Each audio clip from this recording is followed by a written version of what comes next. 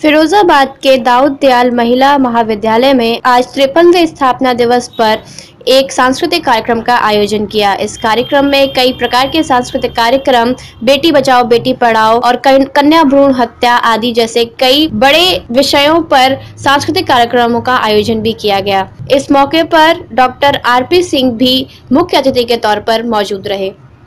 फिरोजाबाद से Ajay Sharma S news.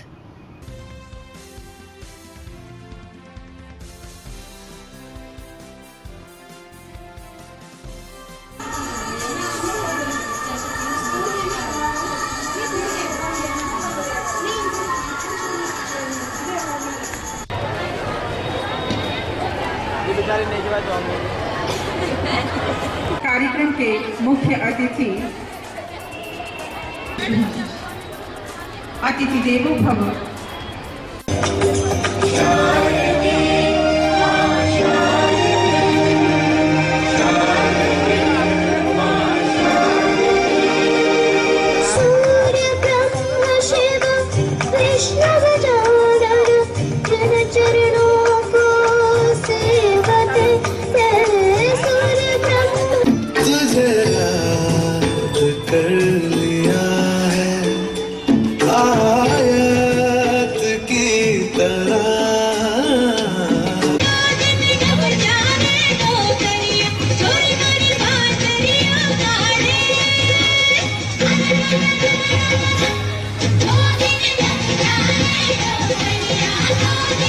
B A final आज आपने खुद को इतना सजा रखा है क्या प्रोग्राम करने वाले हो आज हमारे दाऊदार पीजी कॉलेज का वार्षिक उत्सव है जिसमें हम लोगों ने महाराज के लिए अपना महाराज जो होता है जो राधा कृष्ण के साथ जो एक रास होता है उसके लिए हमारे कॉलेज की तरफ़ से हमारी टीम ने महाराज का आयोजन किया है। जी तो आज कॉलेज में क्या प्रोग्राम किया जा रहा है? आज हमारे कॉलेज में दाऊदयाल जो जो भी हमारे आदरणीय जो दाऊदयाल सर हैं जो यहाँ जो कुछ भी मानते हैं हम उन्हें जो दाऊदयाल है उनका आज हैप्पी बर्थडे या जन्म उत्सव है। आपके साथ और कितने स्टूडेंट आज पार्टिसिपेट करेंगे? आज हमारे साथ कम से कम थर्टी से फोर्टी स्टूडेंट है टोटल